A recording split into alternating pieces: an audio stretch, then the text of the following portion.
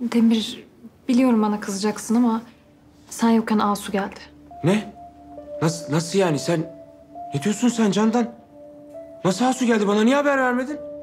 Ya çok uzun kalmadı zaten. Öyküyü merak etmiş, görüp gitti. Uzatsaydı arayacaktım ben seni. Ya o kimseyi merak etmez. Yani şu an burada bulunuyorsak o- onun yüzünden buradayız. Ne yaptı peki? Bir şey yaptı mı kızıma benim? Abuk subuk konuştu mu? Bir bir şey yaptı mı Öykü'ye? Demir, ya böyle fevri davranarak öyküyü de hırpalıyorsun. Kabul etsen de etmesen de Asu öykünün annesi. Yani buraya da gelecek, eve de gelecek. Belli ki vazgeçmeyecek. Ya bir şekilde hayatında olmaya çalışacak öykünün. Ya Candan ben sana işte söyledim ya. Yani para için kızın peşinde. Demir bunu ben biliyorum, Öykü bilmiyor. Öykü sadece annesi onu görmeye geldiğini sanıyor. Öyle ya da böyle. Ya senin bu durumda biraz daha sakin olman lazım. Özellikle Öykü için. Ya sen Asu'yla her kavga ettiğinde Öykü hep arada kalacak. Hem sen demedin mi doktor en önemli şey moral dedi diye. Evet.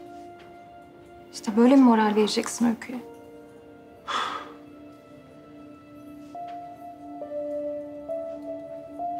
Demir.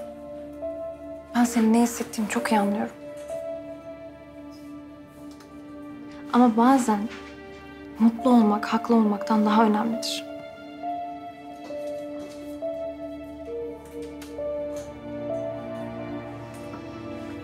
Neyse benim çıkmam lazım. Bir hastam aradı, acil bir durum varmış. Gitmek için de senin gelmeni bekliyordum.